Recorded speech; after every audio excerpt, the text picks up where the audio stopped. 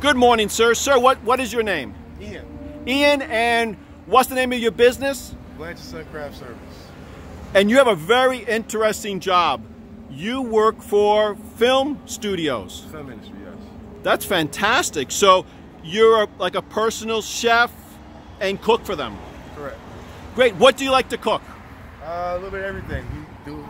We're from South Carolina, so we do a little bit of everything. Um, barbecue is one of them. And you got it. I mean, you're part of the union. You, you cook for them, and that's fantastic. And so you also have an outside catering that you do too. I have a food trailer. Food trailer. And where where do you normally set up if people want to taste your food? Um, based out of Charleston, South Carolina. I love Charleston. Charleston has some really really good food. Based So out of Charleston. so if somebody goes down there, what's the best phone number for, for them to get in touch with you? 843-494-1034. Great. And how was your day at Barbecue Smoker Pros with Roland? How did things go? Great day, great day. Bought a grill, so it's a great day. Well, thank you very, very much. We Thank super, you. super appreciate that. You're part of our family now. You can always call us or text us with any question that you have.